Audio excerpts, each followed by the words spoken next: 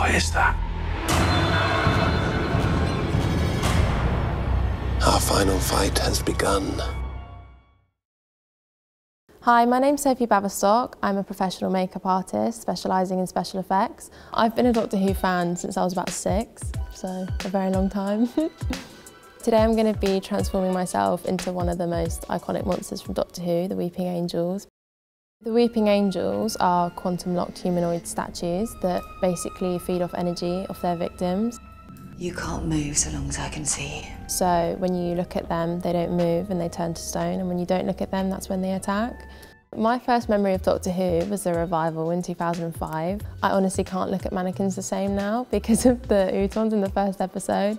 And I think that the Weeping Angels definitely are reminiscent of that sort of monster where they're just so prevalent everywhere you look. It definitely was the TV series that got me into makeup. When I went on Glow Up, my pre-interview, I dressed in like a sort of shirt, tie, jumper, jacket situation. That was definitely me sort of channeling the doctor just to give me a bit more confidence in the show. It was just in the back of my head that like at least I looked like him a little bit. I felt like him a little bit. If I was a doctor and I could choose anyone in time and space to be my friend, I would definitely pick someone with a bit of personality and a bit of weirdness. So I would say Andy Warhol, mainly because their personalities would gel really well together and there'd be some really cool artwork in the TARDIS.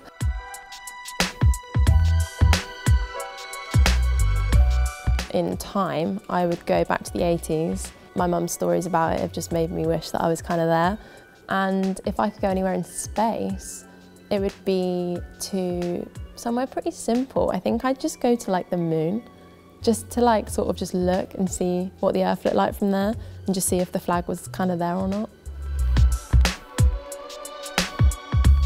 I think that Jodie's interpretation of the Doctor is just perfect and it really reminds me of myself, like her personality is spot on. Tim Shaw. How long's it been? 3,407 years. I bet the seven really dragged.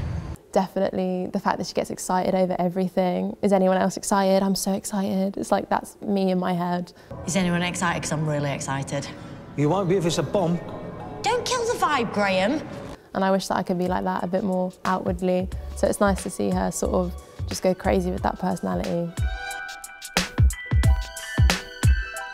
I'm so excited for the new series, especially because it's on Halloween, so it's two of my favourite things at once. My three pieces of advice for Halloween tonight for anyone doing a makeup is definitely do something you're passionate about, create a character. My second bit of advice is to go all out. And then my third bit of advice as a makeup artist is don't put anything over your eyes. Don't be silly, don't wear contact lenses that you can't see out of. And definitely just be safe with the makeup that you use, especially special effects.